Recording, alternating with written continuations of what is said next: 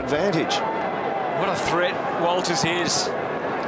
Just goes to show, I know, if you've got ability and you marry it to uh, attitude. Same time, Kingy, so underlines what you're saying. Collingwood are in front for the first time, basically in the night. Yeah. Jolly goes for the strength straight away, steps over the line into his uh, his Yes. run up and There's uses the point body. proven about Dawson getting the ball out of the centre. Maybe it might give them some renewed hope, Freo. Push O'Brien was maybe. Just slide through. As soon as he saw Harry commit to it, he just went out the back door. Out the back it goes again, this time to Dwyer. A little bit fancy then, perhaps. Quick kick O'Brien. Jolly's just going to uh, palm it to wherever he wants.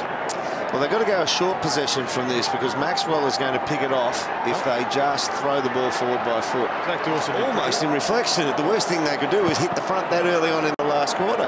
Well, Lynch is in the ruck now, so uh, Zac not, not quite as disadvantaged size-wise, although it's not much better for him. So he was able to scrap a kick out There of he that. was. Pearce couldn't afford to fumble.